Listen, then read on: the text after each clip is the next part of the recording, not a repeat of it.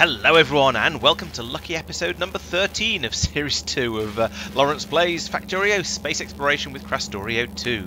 And as you can see here, we've been busily at work making uh, getting the science up and running. So, let's let's work backwards through what I've been doing here.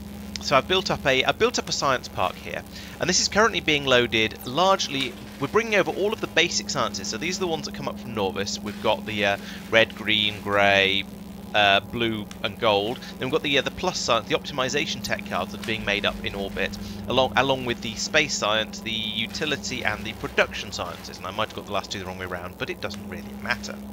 They're all being fed up here to a um, uh, to a science dome that's being uh, sphere actually more than a dome that's sitting there spinning away merrily. And this is this is working quite effectively because if you look there over there on the right you can see we've got a research speed of a plus 190% thanks to this beacon down here that's packed full of tier 2 speed modules. And also it's got a productivity boost of almost 58% because we've filled it up with uh, the tier 3 productivity modules which are currently the best that we've got now, we have observed that fairly soon we should be able to make uh, tier 4 productivity modules, even if we can't already. No, we can make them already. Um, we just need we just need Vitamelange extract, and um, Mark is over on a planet where that comes from. So it shouldn't be too difficult to bring a load of that over at some point and just at least bump us up to tier 4 productivity modules. So that'll get us the um, a productivity boost of 10% per module rather than 8%. So that should take us up to about 60% uh, extra productivity on um, on top of an empty an, an, empty research lab. So this is going well. This, this, is, this is working quite nicely. However, we are going to want to bump up these speed modules because the more uh, productivity modules we put in here, the lower, the more the speed will be dragged down, and therefore the more speed modules will need to drag it back up again and get it running at a sensible speed. Now, from previous experience, I know that we're probably not going to need more than about one or two of these labs. We could probably put in a second one here and have an inserter feeding straight over into it. In fact, let's let's let's try that. Let's put those in, and then that, that, that'll allow us to, to, to, science twice as quickly, at least until we start to run out of science packs, which, to be honest, we very nearly have, and I'll touch on that in a moment. But first, there's how we're getting the science packs over here, because this is right over here. This is our um, science area, way over on the other side of the uh, other side of the world from where it was being done before, over here. So in order to allow that to work, we've got these belts coming across here, and they're going, they're doing the stand underground, underground, underground thing, because this is going to be the main bus of the science area and those are being brought in from a station here. So what we've got on this, we've got we've got the two-parter here. We've got the, the drop-off station here and pick-up station at the other end. That's um, which will come as precisely surprise, which comes as no surprise whatsoever.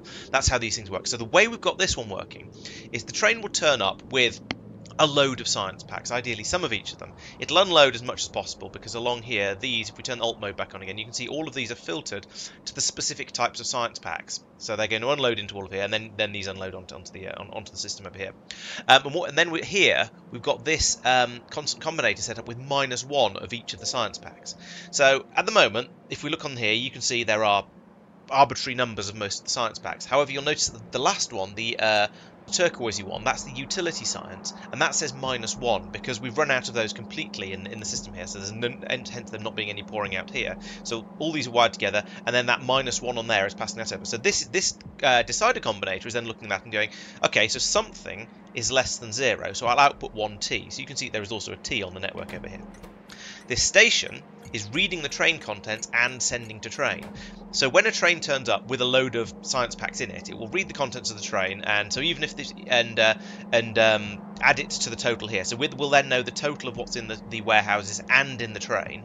Uh, and if and if that gets down to, to zero for any of them, then this minus one here will be sent will send a T through to the train, and the train will depart. So if we go over here and have a look at the train, uh, it's this train down here. Look at its instructions. You can see at the science drop, it will leave if the circuit condition says T is, uh, oh, that should be an AND on that one as well, there we go. Uh, if the circuit condition says T is, is equal to 1, so therefore something has run out. I also had to put in a, um, a delay on it, because it turned out when the train turns up, it takes a couple of ticks for the um, information about what's in the train to propagate through the circuit network and be included in the in, in the sums. So it was turning up and going, oh, the station's already uh, we're already empty of something. I better clear off again. So I put in this 10 seconds here as a minimum stopping time, which give it time to do a bit of unloading and for the for the uh, for the signals to propagate around the network, and that allows it to stay there. I also put in a, um, a one second of inac inactivity, and I'm trying to rem remember why I did that. I'm honestly not sure. Uh, there was a reason I put that in towards the end of the stream, but I can't remember why I did that, and that feels kind of wrong. Then, at the other end, the train will sit here, and if we look in the train, you can if we look in the train properly, you can see that it's split up between the um, different types of science cards, uh, science packs. So each of these has got is, is, filtered to only allow that one particular type of science into the into those slots. So, so which is why this train hasn't just filled up with red cards. It's, it's waiting for some more of the uh, of the energy science ones to be delivered and to go into there before before it'll actually go anywhere. Similarly, in the other wagon, we've got we've got it slowly filling up with production and utility, and it's completely full of the other ones because they're quicker to make. So the idea is that it will sit here for admittedly rather a long time until it's picked up enough of these science packs, and then it will go off to go and get the um, go off to deliver them, and and um, and then come and then come back when when uh, they've, they've all been used up. So the system does work quite well. We had some, some minor issues. You can see we've, got, we've still got some shortages of some of the science packs. You can see the uh, production and utility science coming in along here, space coming in along here. So that's not actually a there's enough, there's some in here, but there's not very many. They've mostly been loaded into the train. The same with the uh, with the optimization uh, plus tech cards. But mostly we're really, really short of the energy science. And I should probably, I guess I should have a look at why that's happening. Even though this is very much temporary and will be ripped up sooner or later. I think it's just because this is a slow, slow system. Uh, so here we are waiting for some significant data. Here we are making the significant data eventually when we've got enough insights. And it's just yeah it's just a bit slow around here. So that's why it's that's why it's um it seems to be just sitting there. But eventually it will produce 2000 energy science packs and they'll be fed up to here um, although by then maybe we'll be, do th be doing things a little bit differently.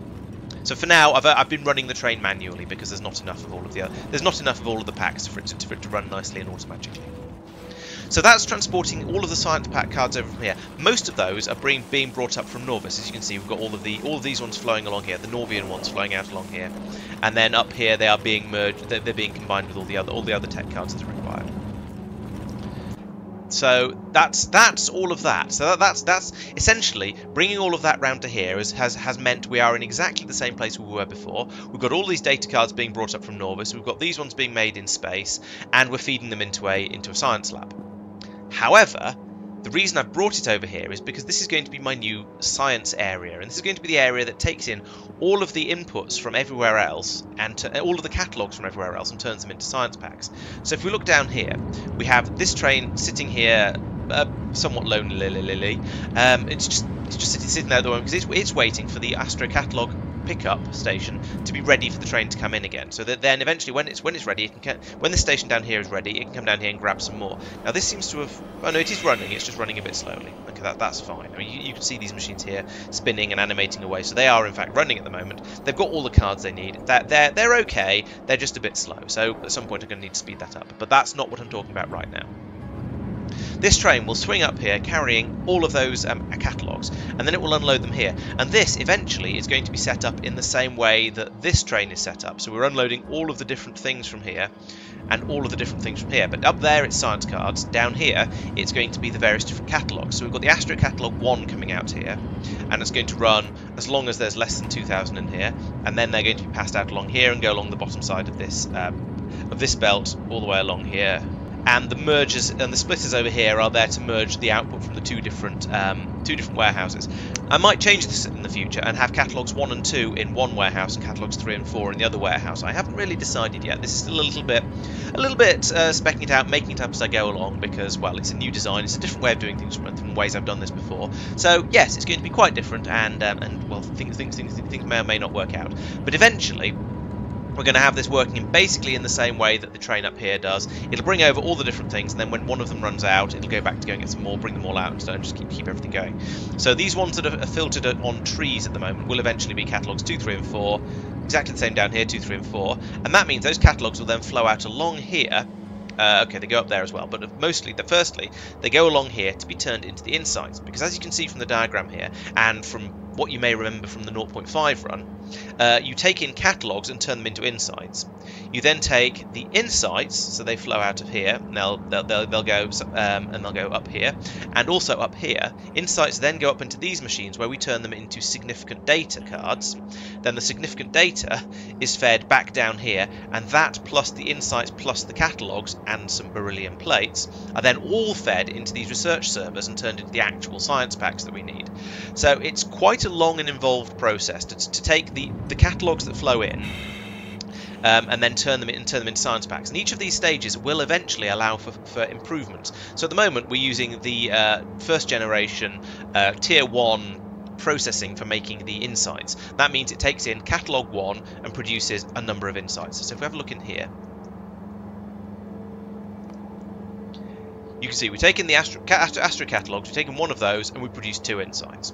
We also have the option later on um, of taking in tier 1 and tier 2 uh, catalogs and producing 8 insights, or 1, 2, and 3 and producing 18. So as you can see, as you go on to later and later recipes, you get more and more efficient outputs, but you need to have more and more ingredients to go in to, go to, to make them. So in the future, we'll be able to make a lot more insights by use by simply by chucking in more different types of catalogs and, and, and making it that way. Similarly, up here at the moment, we're using the recipe where you bring in a, a, one Astro Insight and it produces significant data. So again, we can look in here at the um, at the recipes. You take in 36 astronomic insights, you produce 4 significant data. That's not very many for the amount of effort we're going through to make those, uh, so that's a bit pathetic. But it would be nice if we could then advance on to the slightly better recipes like this one, where you take in astrometric and energy insights together, and that produces 6 in uh, significant data. So you're, you're still putting in the same total of 36 insights, but you're getting, instead of getting 4 data out, you're getting 6 data out. And then there's similar ones with the other other tier, other um, tier for the tier 2s. Then you get onto the tier 3 where you take in 12 of each and that produces 8. So as you can see the more of more and more of these you use, the more and more and more efficient it gets and the more the more significant data you get out for each insight you put in. And because the insights are so expensive to make, this is really really valuable. It can make an enormous difference to the amount of science you can do. Then, as I say, you get you, you get your um, insights and your significant data through whatever recipe you like, and then it comes in down here. And each of and this this is the tier one astroscience, as you can see, um, and then the tier two will take processed beryllium. So it'll maybe, maybe it'll be the um, the aeroframe rods or something like that, and then it'll be maybe the aeroframe scaffolds, and then it'll be the bulkheads or something like that. So each each tier will will, will require a slightly more complex type of um, of beryllium, slightly more processed beryllium, and then we can feed. And then so we'll have an, so we'll have more and more and more of these uh, doing the different different recipes. Maybe some more doing the tier one once we've got a bit more input for it. We shall see about that. And then yes, we should be able to then feed out a nice steady stream of science that'll come up here, go around here, and into the bottom of the in, into the bottom of the labs.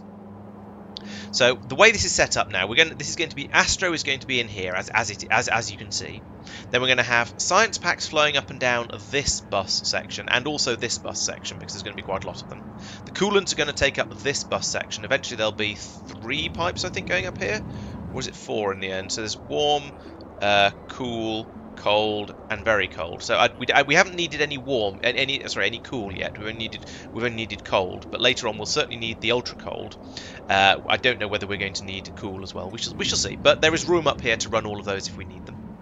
And then this belt here is going to have the insights flow down it uh, to come in here to be made into the significant datas, and then also have the significant data flow up and down it. So there's four belts across. There's room for four across here for the four different types of insights, and then a fifth one for the significant data. So there's going to be enough there.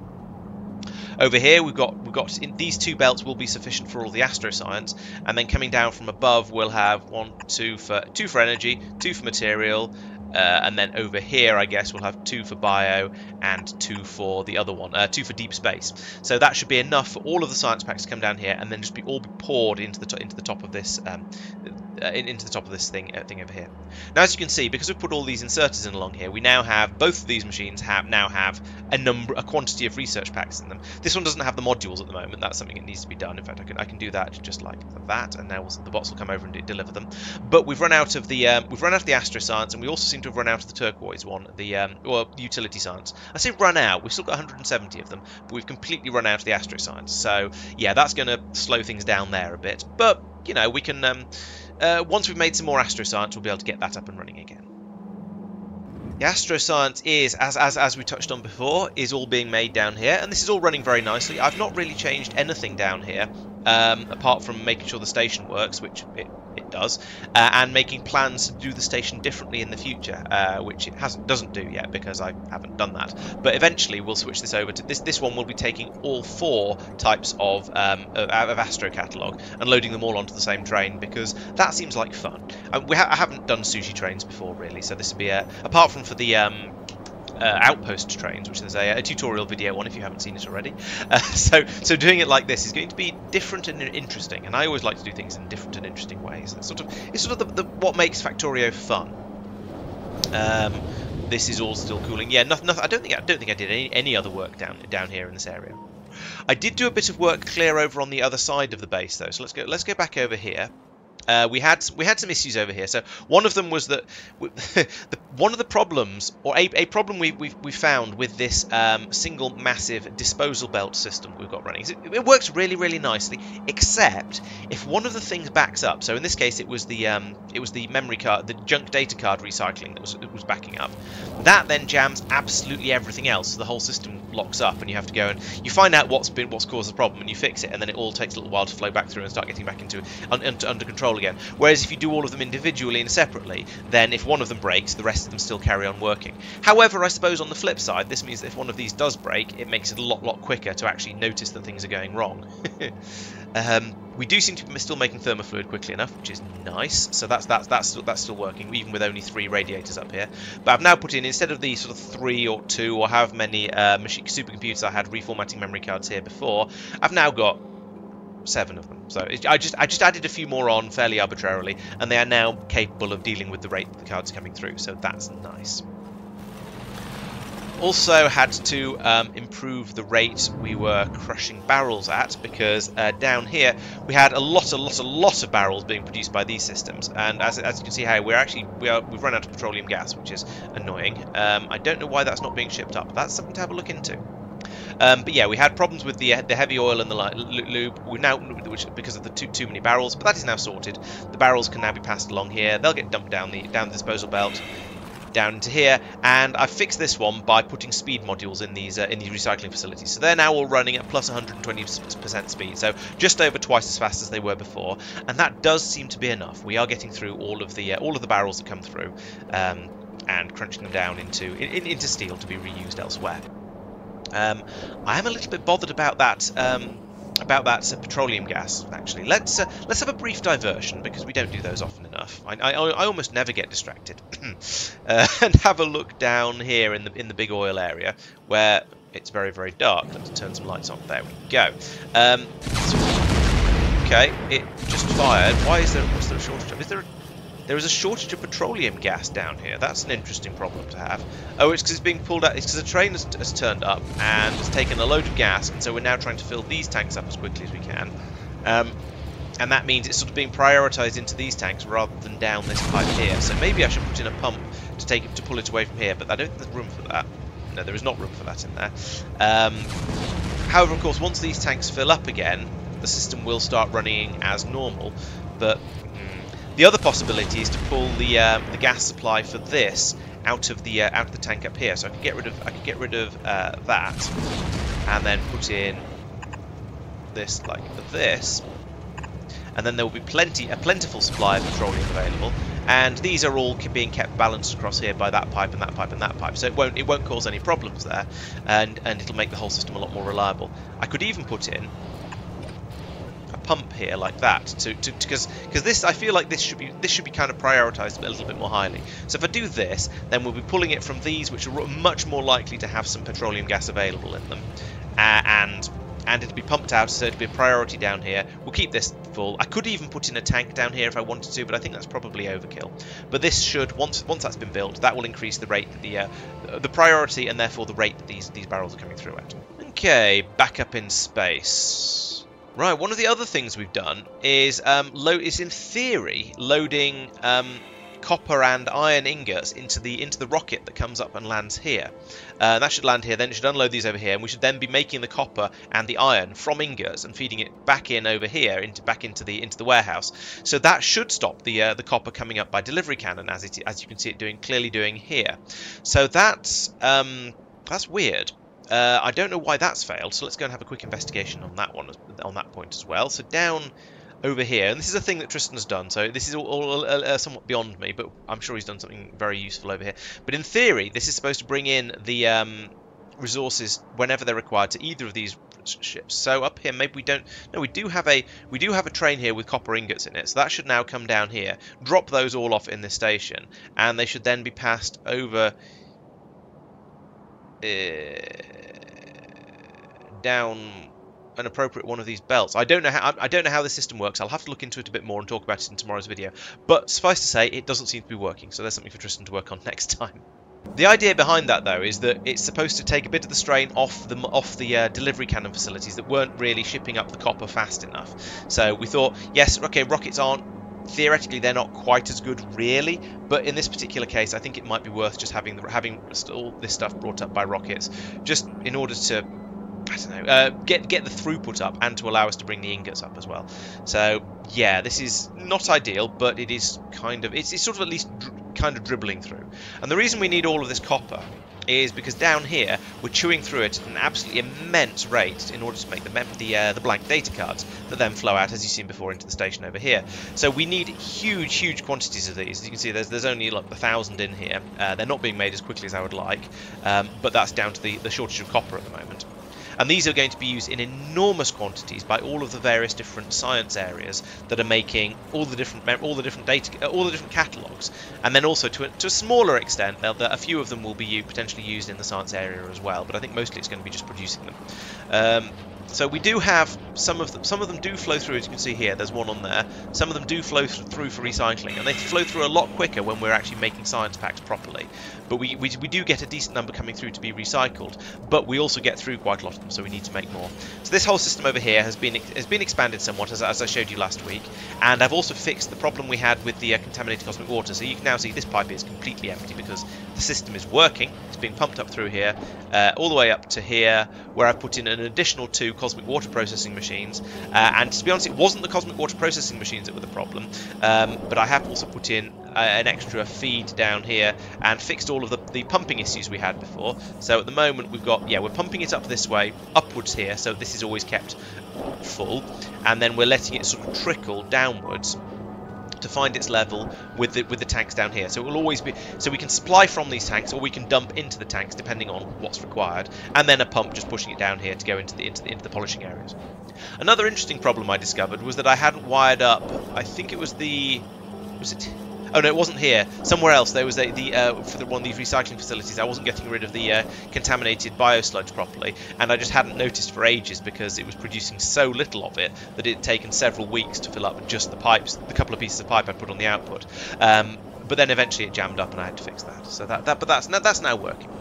I think that covers everything I've been up to in the last in the last session. So I mean, it was there was a lot of stuff going on here. P building up this this research park, even though it's not actually all that big, and this bit down here is a direct copy and paste of what I'd already built for the uh, for the astroscience.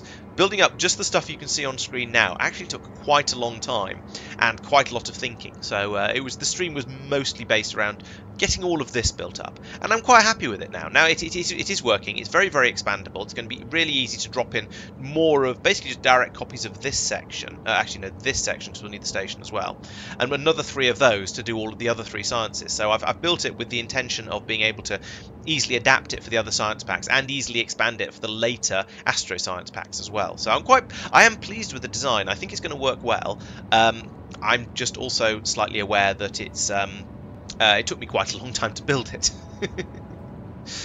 And meanwhile, let's see, so while I was doing that, Mark has been getting started on, on doing biological science up here. As you can see, he has got a, a long way. Um, yes, he's, he's made a nice large area of... Um, of, of, uh, of scaffolding to build on, and he's put in a station. So, I mean, that that is a good start. You need you need to start somewhere. More importantly, according to his um, done lists, he's made a couple more machines, I think up here. Yes, here we go. So these, this is the um, astrometrics facility I'd made for before. So now Mark has started building up here. He started making the uh, the Christmas trees. What are these? These are genetic facilities, aren't they? Uh, yes, the genetic facility Christmas tree things. And then up here, the grow facility, growth facilities that are sort of a, a kind of weird biological science-based greenhouse thing that allow you to grow goop up in space and then and then uh, perform science on it. So, as with many, many other th uh, areas where we've been building these things up, he's got um, them going straight into red chests over here. So, when, he, when he goes off and, and, starts a build, the bots will come over, grab the things, take them away, build them up for him nice and quickly. And it's and he's fair, he's relatively close to here as well, so it'll be it'll, it will be actually be reasonably quick to do that. Um, both of those will go into here eventually once he's got all the bits and pieces for them. Then over here, oh, oh right, he's making lamps. So he's got, um, okay, so he's got copper coming across here. That's a bit of a, okay, this is a little bit convoluted, but never mind. I mean, I, am not going to criticise because I've, I've made some convolutions, certainly made some convolutions myself in my time.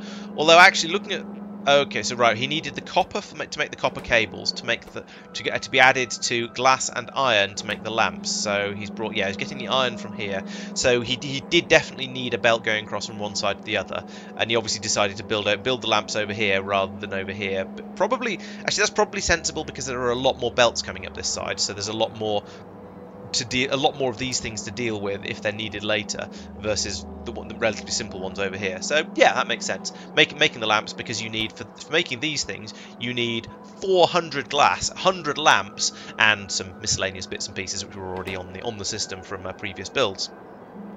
That's quite a lot of stuff, if I'm being honest. And then over here, the Christmas trees are probably going to be similarly crazy.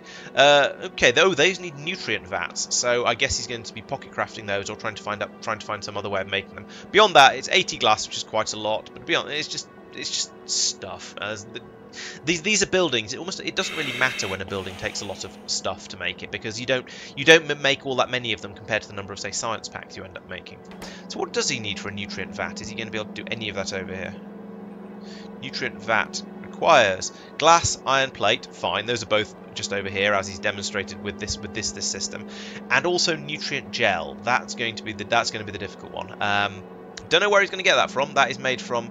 Uh, there's three recipes for it. It's made from coal, fertilizer, and th three of the goops. We already have those goops, so that's possible. Um, he just needs coal and fertilizer somehow. Or he can do it from fertilizer methane gas. He's got methane gas out on um, Bioplanet, so maybe um, transport that as a methane ice, I suppose. And then, yeah, that seems to be slightly more efficient because it uses... Oh, no, uh, no, it's slightly less efficient, actually, because it uses more chemical gel. Oh, it uses a lot less biosludge and a bit less cosmic water, so maybe that's better. Hard, hard to say, really. Um, or you can get it out of barrels, but that's not, not particularly useful. Okay, so that's going to be an interesting one. I'm not sure. I'm not sure how he's going to finagle that in over here. Um, but um, good luck, I suppose. Uh, yeah, so that that nutrient gel is going to be a bit tricky. Maybe for the first few, we'll, we'll he'll get it handcrafted somewhere. Not handcrafted, sorry, crafted somewhere else, and then bring it over by hand, and then see how it goes from there. I don't know. That that's that's going to be a bit. That's going to be a slightly challenging one. Um, so that could be could be fun. But those that's that was his sort of that was that was his big thing in Norbit in the last time. He's also been expanding out the um, the, the, the solar panel facilities as we, we've talked about before, and these are now producing plenty of power. Even if Tristan is hogging virtually all the power with these uh, particle accelerators, which we should talk about uh, soon. He's also played around with some of the supply numbers to ensure that we're getting up all enough um, scaffolding and solar production stuff up. Right, now on to Tristan, who has been, uh, let's see, his first thing he's been doing, he, he, he dealt with the uh, the power packs issues that I was talking about before. So apparently he's put in a buffer for that. I, I, I have no idea. There's a buffer chest here that's going to collect, briefly collect the charged power packs before it passes them out onto the onto the uh, belt system to go off to put into the trains. Um, and that's hooked up to this, which says run if this is less than zero. So this is, I see, I think, this belt of Oh, okay, right. The battery packs are now being brought up in this rocket, not the other rocket. So they'll be dropped off here and then passed down here. So yeah, we're limiting the number it's brought up to, to here, presumably, to uh, 2,000 of them. Then they're dumped down here, and if we have an insufficiency of them in, in the system in general, they'll then be passed around here, charged up and put out onto the network. But if we've got enough, then that'll be stopped. Okay, that makes sense and then these from here, as we as we've looked at before, batteries, the charged batteries flow up here. They'll go out to and then be passed out to any trains that require them, and, and they can just power the trains. The dead ones are dumped back onto the onto the bus, take them home, take them back to be recharged. Fine. Oh, okay. Tristan also mentioned he's been putting the uh, the copper and iron ingots, as I said down here, and there's a he says there is a problem. There's a problem with it at the moment with the train limits because one of the rockets isn't providing its rocket ready signal to the right place. So um, I guess that's something that's good. That's something you can sort out later.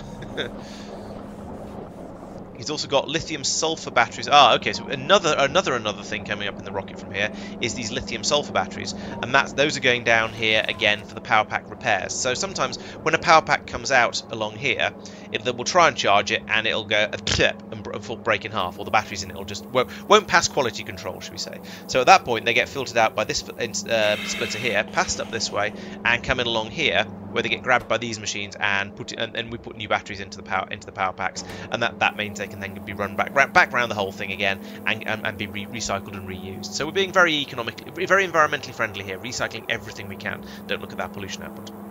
His other thing, I mean, this is all related actually, because this is energy. So we've been talking about energy in the batteries over there. Now we've got energy science up here, and all of this is apparently now in place uh, with a little asterisk of, of, warningness around it. So we've got we've got the four machines along here that make the four types the four types of memory cards. Those are all passing in up the, up to, to the middle here, where we are making the, the tier one catalogs, and those are being passed out into a station. So at the moment, he's only got a single a station set up for single. Uh, single catalogs. That's gonna that's fine. We'll, we'll, we'll update that later as we um, as we as we uh, as, as I basically when I finish the design off for the Astro, he can then make a copy of it over here for, for doing energy as well, and, and then everything will work nicely. Um, so the, there's but there's a bit of a problem here in that he's not getting anything through from this one because he doesn't have any blue clouds to play with. Uh, the other three, no, two of the others seem to be working. This one is is, you is also sad. Yes, you are also sad because you don't have any you don't have any multispectral mirrors. Right. So this is basically basically set up and working. One of the things he did do last time, which was kind of horrific, was um, put another splitter uh, output over here on the um, the the green circuit and if there's more than 100 green circuits in here then it'll pass them out along this belt up here and load them into this train. This train's sole purpose then seems to be to take them down to here and drop them off at one of these stations. I have no idea which. Um, but that then gets them into the system over here. They can and he, that gets him green circuits over here for whichever science it is that requires them. Um, it's kind of a horrible way to bring them in, but then on the flip side, I find it hard to criticise because, to be honest, I don't know what he could have done differently and better because he can't ship them up by delivery cannon. Pretty much the only alternative would be to put in a rocket landing a facility, a rocket landing, and bring them up in that rocket. And that's also, I don't know, it feels a bit silly putting in a rocket for one thing when we're trying to get rid of them. So yeah, it's it's it's kind of horrible, but it's it's horrible in the same way that bringing up all of these uh, fluids in barrels is horrible. It's it's not very nice, but we're going to have to deal with it for now and just keep and, and, and stick with it, unfortunately. so yes, he's, he's nearly, nearly got nearly got it running. Apart from the um, apart from the ion stream that he's going to need to get that working. So over here, he has also built up this area, and this is doing all of the sort of all of the uh, the sort of plasma related things. So he's bringing in uh, chemical gel over here because, as you may remember from several weeks ago, I set up a chemical gel station uh, while I was going through doing the liquids because I knew it'd be useful elsewhere. So he's bringing that in along with a load of lithium that's coming up by delivery cannon, and that's that's being turned into uh, into plasma stream. Great. Plasma stream is then coming down here. We can convert some of that into green clouds, proton streams, by mixing it with more lithium uh, in a particle accelerator. And down here, he can add it to rare metals, uh, which makes the ion stream, which we were talking about earlier. So that's then being passed down into these pipes over here and into the into the tanks. And so when this gets up to 30,000 per tank, a train will come over, grab it, and take it away, and we can and he can start making science from it. Down here, we're doing going to do the same sort of thing with particle stream, but at the moment we don't have material testing packs, and we and we don't have sand available here either. So I think the material testing packs are going to be brought in by another train, or maybe they're going to be built here because this could be expanded out to be a sort of a, a miscellaneous stuff building area. So we might want to, we might build up the material testing packs here, or we might decide that actually shipping them around by train is going to be ridiculous.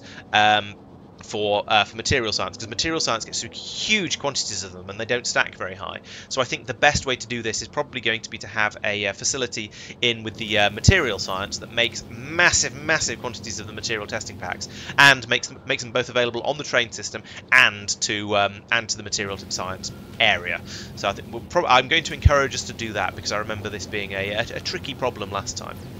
Uh, I, but I but I also imagine he's going to be putting in a facility here to make the uh, multispectral mirrors because those are used by quite a lot of things. They uh, they're used to make telescopes. I think I might be going to want them later for, for later parts of this science. Tristan wants them for um, they're needed in huge quantities for making the advanced solar panels, and I think and, and Tristan needs them over here for making the uh, one of these science packs. So we're going to want to have lots and lots of those available. So we're going to be making those in one central location and shipping them out to, to everywhere that needs them that's the, the wonder of having the, the space train system set up and running.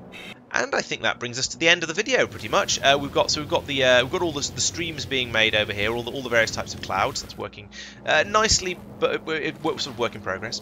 We still haven't ripped out this this area. Uh, we will be more or less as soon as as uh, Tristan finishes off his um, uh, gets his, his his energy science up and running. In which at which point I'll have to reprogram a train a little bit. We are debating a little bit over whether we should whether we should remove the move these science packs off somewhere else. I don't think we need to, to be honest, because they are working perfectly well here. Uh, they're ticking away quite happily.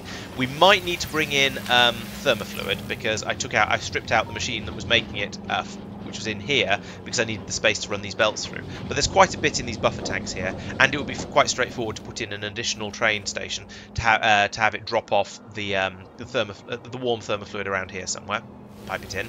We already have an additional train up here dropping off the memory cards, so those get dumped in, onto, onto uh, into the top of the system here where they'll rattle through and then go out along here. I have noticed that we've run into a bit of a... It's not a, serious problem yet, but when a rocket lands hit on the landing pad here, there is a massive quantity of stuff in it that gets passed across into here by the inserters. And that tends to has a bit of a habit of filling this whole system up a bit and then stopping the, um, the these memory cards being passed through. So we do have a bit slightly limited throughput. Um, we're getting to the point where the bus is starting to struggle a little bit if we ask too much of it. Um, because well it's, it's, just got a little bit a little bit big uh, and we can we can we can sort of work with that to an extent and but that might be a, that might be a thing that tells us eventually we need to move some of these things off the bus in order to just free up capacity essentially for and then have the bus be just for for this sort of building. Um, it isn't a problem yet but at some point in the future it might become one. So uh, we shall see how we we shall see how we get on. Uh, it is a, a thing we might need to update Right, so Owen and Tristan's put in a, um, a train building area down here to allow us to, well, build trains basically.